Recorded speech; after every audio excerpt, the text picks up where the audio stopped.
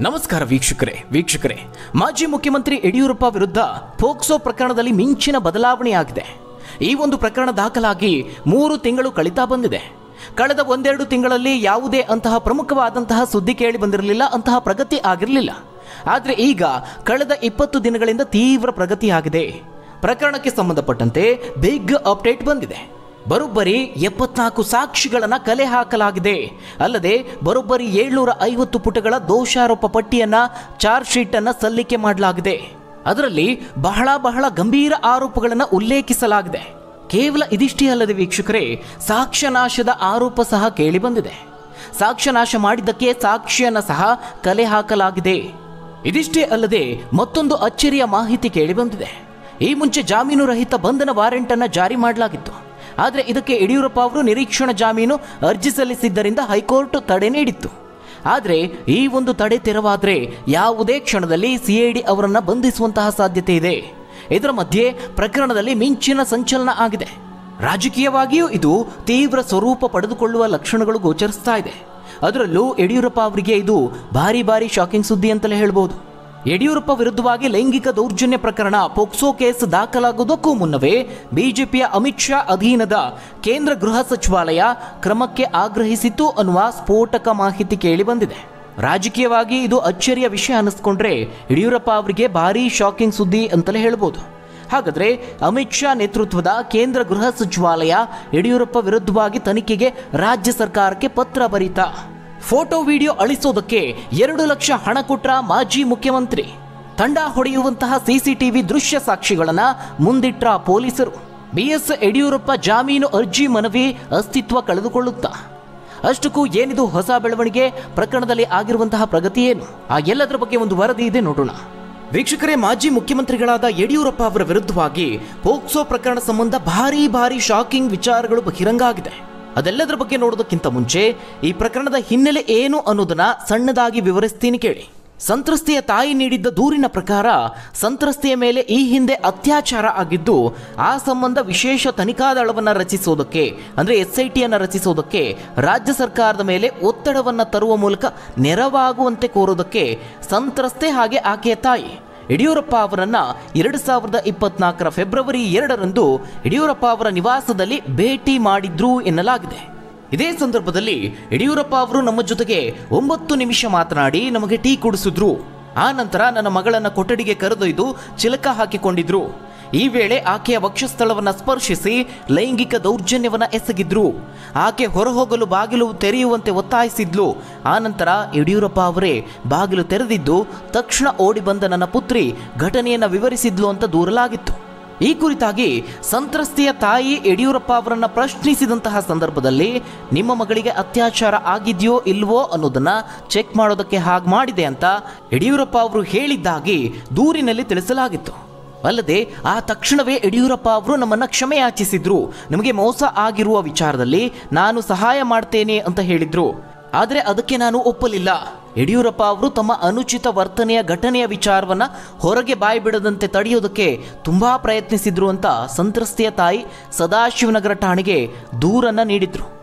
ಇದನ್ನ ಆಧರಿಸಿ ಪೊಲೀಸರು ಪೋಕ್ಸೋ ಕಾಯ್ದೆ ಸೆಕ್ಷನ್ ಎಂಟು ಲೈಂಗಿಕ ದೌರ್ಜನ್ಯ ಹಾಗೆ ಐಪಿಸಿ ಸೆಕ್ಷನ್ ಮುನ್ನೂರ ಐವತ್ನಾಲ್ಕು ಎ ಇದರ ಅಡಿಯಲ್ಲಿ ಲೈಂಗಿಕ ಕಿರುಕುಳ ಪ್ರಕರಣವನ್ನ ಯಡಿಯೂರಪ್ಪ ವಿರುದ್ಧವಾಗಿ ಎಫ್ಐಆರ್ ದಾಖಲಿಸಿದ್ರು. ಮಾರ್ಚ್ ಹದಿನಾಲ್ಕರಂದು ಬೆಂಗಳೂರಿನ ಸದಾಶಿವನಗರ ಪೊಲೀಸ್ ಠಾಣೆಯಲ್ಲಿ ಈ ಒಂದು ಪ್ರಕರಣ ದಾಖಲಾಗಿರುವಂಥದ್ದು. ನಂತರದಲ್ಲಿ ನ್ಯಾಯಾಧೀಶರ ಮುಂದೆ ಸಂತ್ರಸ್ತೆಯ ಹೇಳಿಕೆಯನ್ನು ದಾಖಲು ಮಾಡಲಾಗುತ್ತೆ. ಮಾರ್ಚ್ ಹದಿನಾಲ್ಕರಂದೇ ಪ್ರಕರಣವನ್ನು ಸಿಐಡಿಗೆ ಹಸ್ತಾಂತರಿಸಿದ್ದ ಸರ್ಕಾರ ಏಪ್ರಿಲ್ ಹನ್ನೆರಡರಂದು ವಿಚಾರಣೆಗೆ ಹಾಜರಾಗುವಂತೆ ಬಿಎಸ್ವೈಗೆ ಸಿಐಡಿ ನೋಟಿಸ್ ಅನ್ನು ನೀಡಿತ್ತು. ನಂತರದಲ್ಲಿ ತನಿಖಾಧಿಕಾರಿಗಳು ಯಡಿಯೂರಪ್ಪ ಅವರ ಧ್ವನಿ ಮಾದರಿಯನ್ನು ಸಂಗ್ರಹಿಸಿದ್ರು. ಆದರೆ ಮೇ ಇಪ್ಪತ್ತಾರರ ಭಾನುವಾರ ಬೆಂಗಳೂರಿನ ಹುಳಿಮಾವು ಪ್ರದೇಶದಲ್ಲಿರುವ ಖಾಸಗಿ ಆಸ್ಪತ್ರೆಯಲ್ಲಿ ಇದೇ ಯಡಿಯೂರಪ್ಪ ಅವರ ವಿರುದ್ಧವಾಗಿ ದೂರು ನೀಡಿದ್ದ ಸಂತ್ರಸ್ತೆಯ ತಾಯಿ ಮೃತಪಡ್ತಾರೆ. ಬಾಲಕಿಯ ತಾಯಿ ಕ್ಯಾನ್ಸರ್ನಿಂದ ಸಾವನ್ನಪ್ಪಿದ ನಂತರದಲ್ಲಿ ಆಕೆಯ ಸಹೋದರ ಕರ್ನಾಟಕ ಹೈಕೋರ್ಟ್ನ ಮೊರೆ ಹೋಗ್ತಾರೆ. ಮೂರು ತಿಂಗಳಿಂದ ತನಿಖೆಯಲ್ಲಿ ಯಾವುದೇ ರೀತಿಯ ಪ್ರಗತಿಯಾಗಿಲ್ಲ ಅಂತ ದೂರಿನಲ್ಲಿ ಉಲ್ಲೇಖಿಸ್ತಾರೆ. ಹೀಗಾಗಿ ನಂತರದಲ್ಲಿ ಜೂನ್ ಹನ್ನೆರಡರಂದು ಯಡಿಯೂರಪ್ಪ ಅವರ ವಿರುದ್ಧವಾಗಿ ಬಂಧನ ವಾರೆಂಟನ್ನು ಜಾರಿ ಮಾಡಲಾಗುತ್ತೆ.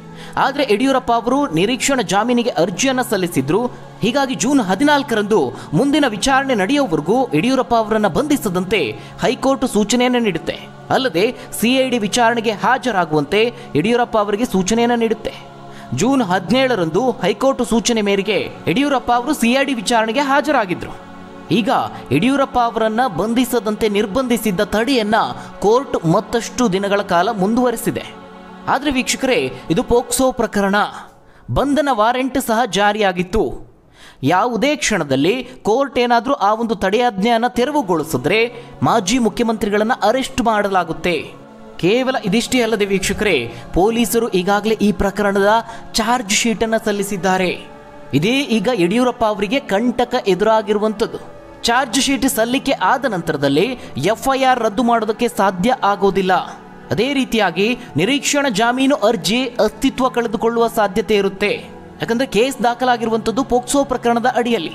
ಇದೇ ಅಂಶವನ್ನು ಮುಂದಿಟ್ಕೊಂಡು ಈಗ ರಾಜ್ಯ ಸರ್ಕಾರ ಕರ್ನಾಟಕ ಹೈಕೋರ್ಟ್ಗೆ ವಿಚಾರವನ್ನು ತಿಳಿಸಿದೆ. ಇದೇ ಚಾರ್ಜ್ ಶೀಟ್ನಲ್ಲಿ ಹಲವು ಆಘಾತಕಾರಿ ಆರೋಪಗಳನ್ನು ಮಾಡಲಾಗಿದೆ.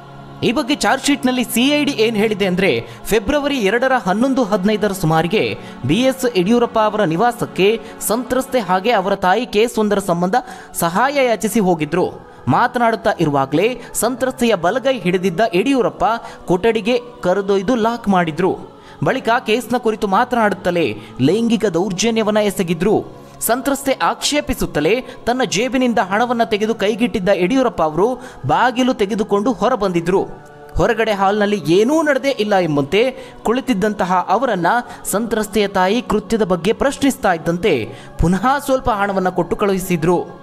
ನಂತರದಲ್ಲಿ ಇದೇ ಒಂದು ಲೈಂಗಿಕ ಕಿರುಕುಳಕ್ಕೆ ಸಂಬಂಧಿಸಿದ ಫೋಟೋ ಹಾಗೆ ವಿಡಿಯೋಗಳನ್ನು ಬಾಲಕಿ ತಾಯಿ ಫೆಬ್ರವರಿ ಇಪ್ಪತ್ತರಂದು ಸಾಮಾಜಿಕ ಜಾಲತಾಣವಾದ ಫೇಸ್ಬುಕ್ನಲ್ಲಿ ಅಪ್ಲೋಡ್ ಮಾಡಿದ್ರು. ಅದನ್ನು ಗಮನಿಸಿದಂತಹ ಯಡಿಯೂರಪ್ಪ, ಇತರೆ ಆರೋಪಿಗಳು ಅಂದರೆ ತಮ್ಮ ಆಪ್ತರಾದಂತಹ Y M Arun, M. Rudresh, G. Mariswamy. ಈ ಆರೋಪಿಗಳ ಸಹಾಯದಿಂದ ಬಾಲಕಿ ಹಾಗೆ ತಾಯಿಯನ್ನ ತಮ್ಮ ಮನೆಗೆ ಕರೆಸಿಕೊಂಡು ಅವರ ಮನೆ ಒಲಿಸಿ ಸೋಷಿಯಲ್ ಮೀಡಿಯಾದಲ್ಲಿದ್ದ ವಿಡಿಯೋ ಹಾಗೆ ಫೋಟೋಗಳನ್ನು ಡಿಲೀಟ್ ಮಾಡಿಸಿದ್ರು. ನಂತರ ಐಫೋನ್ ಮೊಬೈಲ್ ಗ್ಯಾಲರಿಯಲ್ಲಿದ್ದ ವಿಡಿಯೋ ಹಾಗೆ ಫೋಟೋಗಳನ್ನು ಕೂಡ ಡಿಲೀಟ್ ಮಾಡಿದ್ರು. ಅಂದ್ರೆ ಸಾಕ್ಷ್ಯ ನಾಶ ಮಾಡಿದ್ರು ಅನ್ನೋ ಆರೋಪವನ್ನು ಮಾಡಲಾಗಿದೆ.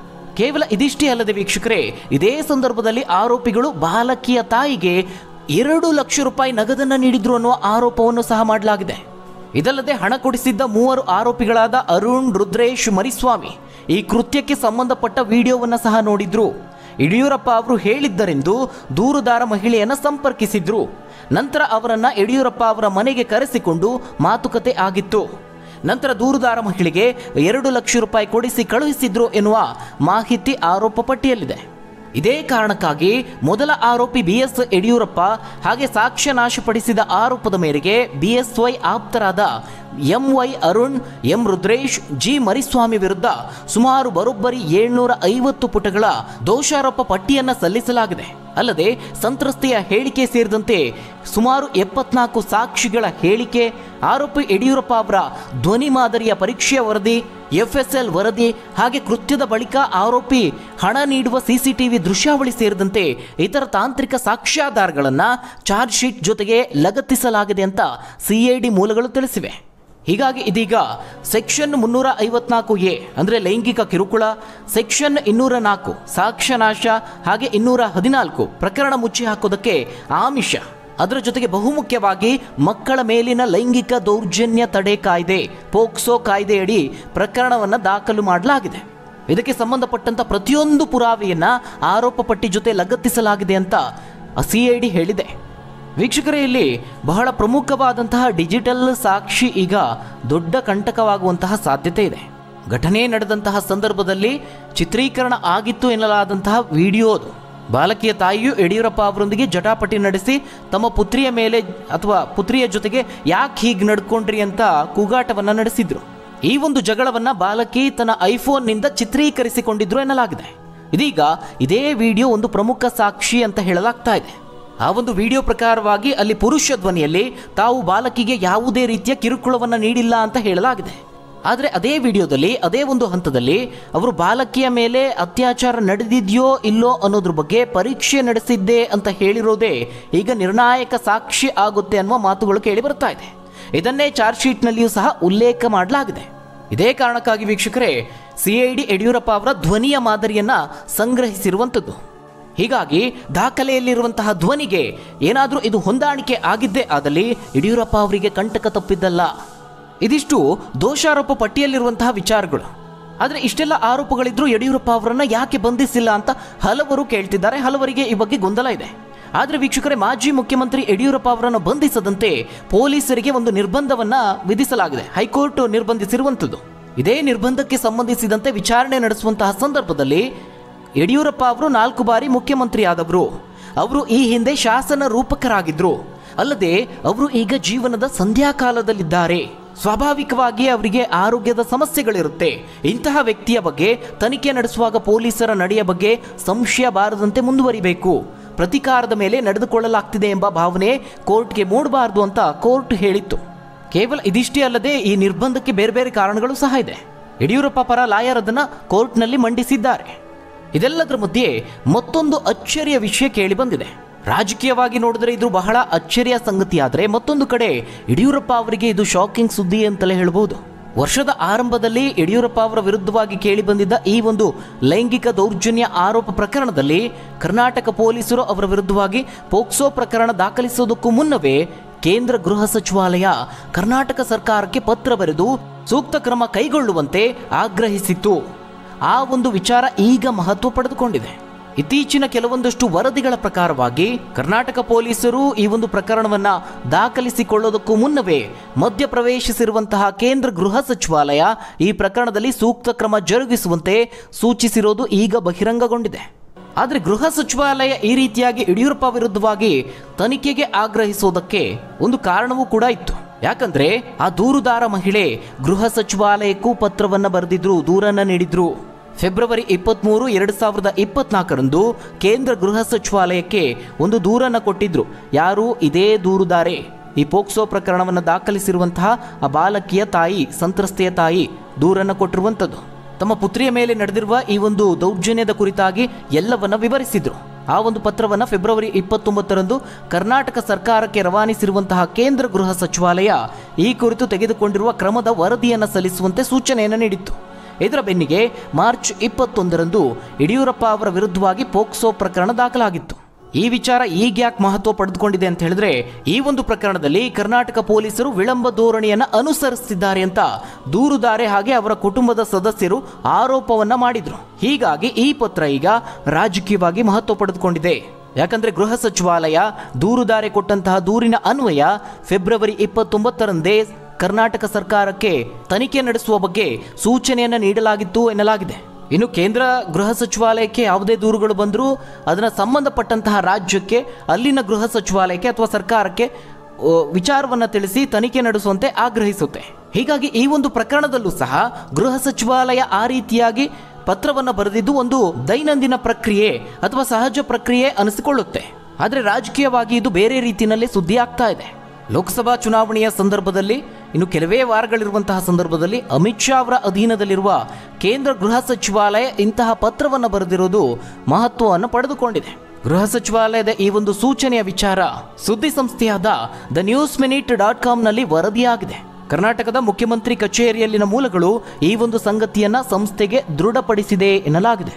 ಇದಿಷ್ಟು ಯಡಿಯೂರಪ್ಪ ಅವರ ವಿರುದ್ಧವಾಗಿ ದಾಖಲಾಗಿರುವ ಪೋಕ್ಸೋ ಪ್ರಕರಣದ ಬಗ್ಗೆ. ಹಾಗಾದ್ರೆ ಈ ಬಗ್ಗೆ ನೀವೇನಂತೀರಾ? ನಿಮ್ಮ ಅನಿಸಿಕೆ ಅಭಿಪ್ರಾಯವನ್ನ ಕಮೆಂಟ್ ಮೂಲಕವಾಗಿ ತಿಳಿಸಿ. ಧನ್ಯವಾದಗಳು ವೀಕ್ಷಕರೇ.